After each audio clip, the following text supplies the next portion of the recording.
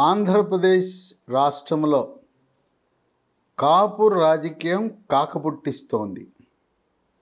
కాపులు ఏ పార్టీకి మద్దతు ఇస్తే ఉమ్మడి ఆంధ్రప్రదేశ్లోనూ ప్రస్తుతం ఉన్న నూతనంగా ఏర్పడిన పునర్విభజన తరువాత ఏర్పడిన ఆంధ్రప్రదేశ్లో కూడా కాపులే కీలకం. మనం గత చరిత్ర చూస్తే పంతొమ్మిది వందల ఎనభై మూడులో ఎన్టీ రామారావు తెలుగుదేశం పార్టీ పెట్టినప్పుడు కాపు సామాజిక వర్గం ఎన్టీఆర్కి టీడీపీకి మద్దతు ఇచ్చింది తదుపరి నాదెళ్ళ భాస్కర్ రావుని అడ్డం పెట్టుకుని ఇందిరాగాంధీ ఎన్టీ రామారావుని ముఖ్యమంత్రిగా పదవి నుంచి తోసేసినప్పుడు రామ్లాల్ గవర్నర్ యొక్క ఆయన అక్రమ చేష్టల వల్ల రామారావుని తొలగించారు ఎన్టీ రామారావుని. అప్పుడు మళ్ళీ ఎన్నికలు జరిగితే సభను రద్దు చేసి ఎన్టీఆర్ మళ్ళీ ఎన్నికలు జరిపితే పంతొమ్మిది ఎనభై ఐదులో కూడా కాపు సామాజిక వర్గం కాపు జాతి అంతా తెలుగుదేశం పార్టీకి వరుసగా ఎనభై మూడు ఎనభై ఐదులో కూడా మద్దతు ఇచ్చారు. ఎనభై తొమ్మిది వచ్చేసరికి సీన్ మారింది. కాపు జాతి తెలుగుదేశం పార్టీకి దూరం అయ్యారు కాంగ్రెస్కు దగ్గరయ్యారు. ఎనభై తొమ్మిదిలో కాపులందరూ కూడా కాంగ్రెస్ పార్టీకి పట్టం కట్టారు. ఎనభై తొమ్మిది తర్వాత ఐదు సంవత్సరాల ఆనాటి కాంగ్రెస్ దుష్ట పాలన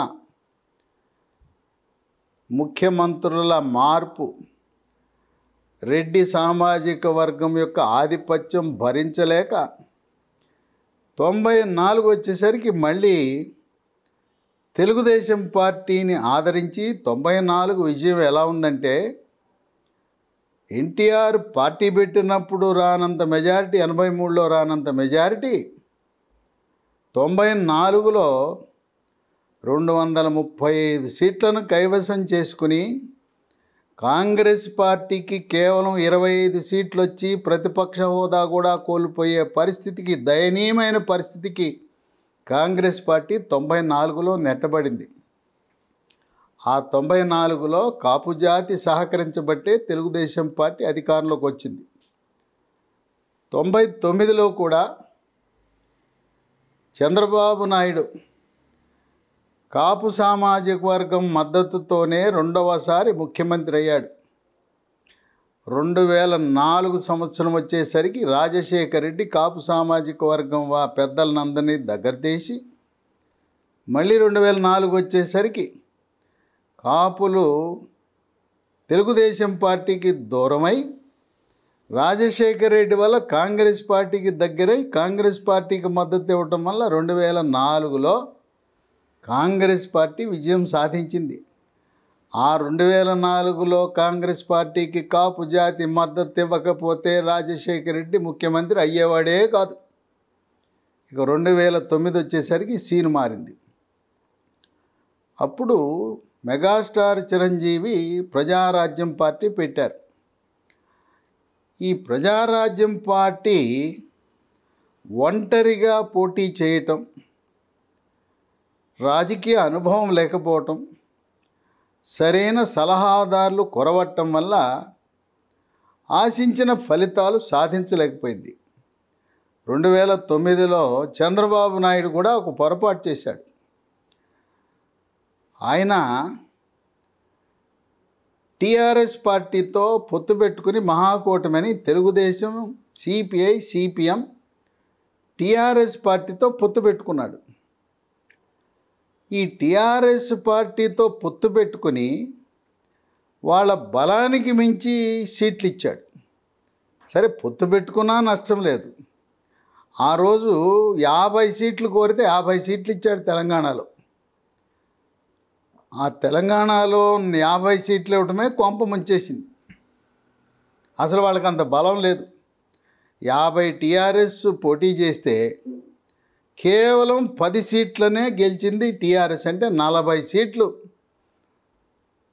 అనవసరంగా కాంగ్రెస్ పార్టీకి కట్టబెట్టినట్టుంది. ఆ విధంగా పొత్తులో ఉండే భాగస్వామ్య పక్షాలు వాళ్ళ శక్తినికి మించి సీట్లు తీసుకోవటం వల్ల ప్రధాన భాగస్వామ్యం పట్టికి బాగా దెబ్బ తగులుతుంది. దెబ్బ కూడా మామూలు దెబ్బ తగలదు. ఓటమి దిశగా పయనిస్తుంది. అందువల్ల నిజమైన పొత్తంటే ఏదైతే పెద్ద భాగస్వామి పక్షం ఉందో వాళ్ళు ఎమ్మెల్యే సీట్లు ఎక్కువ తీసుకుని గెలిచిన తర్వాత ఎమ్మెల్సీలు కావాలంటే సగం కాదు అరవై శాతం కాదు డెబ్బై ఐదు శాతం ఎమ్మెల్సీలు భాగస్వామ్య పక్షాలకు ఇవ్వచ్చు. అలాగే జిల్లా పరిషత్ చైర్మన్లు కార్పొరేషన్లు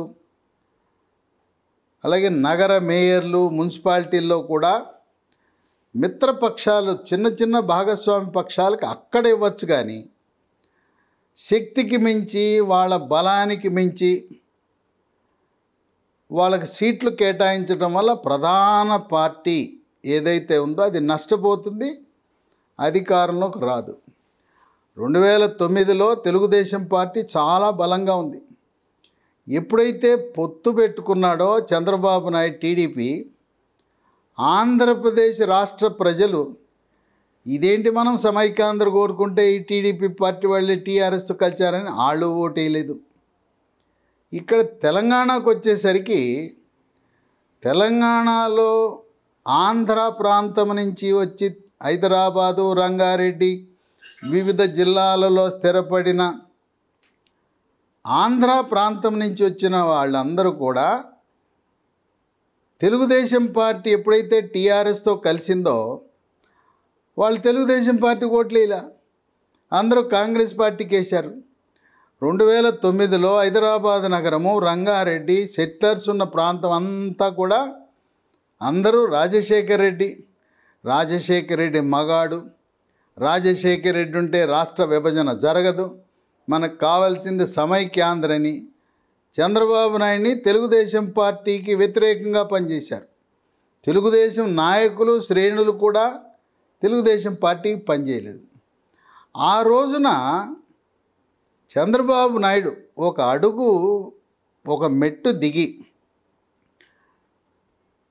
టీఆర్ఎస్తో కాకుండా ప్రజారాజ్యం పార్టీతో ఇప్పుడు ఏ విధంగా తెలుగుదేశం పార్టీ జనసేనతో పొత్తు పెట్టుకున్నదో అదేవిధంగా ఆనాడు మెగాస్టార్ చిరంజీవిని దగ్గర తీసుకుని పొత్తు పెట్టుకుని అప్పుడు అవసరమైతే రెండు వేల తొమ్మిది పరిస్థితిని బట్టి ఒప్పుకుంటే పిఆర్పి పార్టీ ఉప ముఖ్యమంత్రి చిరంజీవి.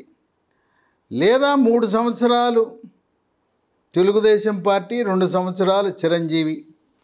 ఆ విధంగా పొత్తు పెట్టుకున్నట్లయితే రెండు వేల తొమ్మిదిలో ఎట్టి పరిస్థితుల్లో కాంగ్రెస్ పార్టీ అధికారంలోకి వచ్చేది కాదు. Hit TV presents like share comment. TV వాళ్ళకు కూడా నేను ఒక సర్ప్రైజ్ ఇద్దాం అనుకుంటున్నాను. మీరు మాత్రమే జెస్సీ ఎందుకు అయ్యారు ఇలాంటి అమ్మాయిలకి పిలవడానికి బాగుంటుంది. సాయికి like you and have a జనాలకి ఒక పేరు నచ్చిందంటే దీనికి ఒక ప్రాసెస్ ఉంటుంది. ఎందుకు ప్రాసెస్ డైరెక్ట్కి వెళ్ళిపోదాం. ఏదైనా ఒకటి మర్చిపోయినావా నువ్వు? ఏం మర్చిపోయావు ఏదో ఆ టైంకి మన సుడి బాగుంటే ఎవరన్నా చూపిస్తే రాయగలం కానీ డోర్ టు డోర్ సేల్స్ చేసేవాళ్ళు. శారీ వస్తుంది కదా శారీలో వెనకాల కట్టుకుని. అమ్మా నీ వెన్నెలా?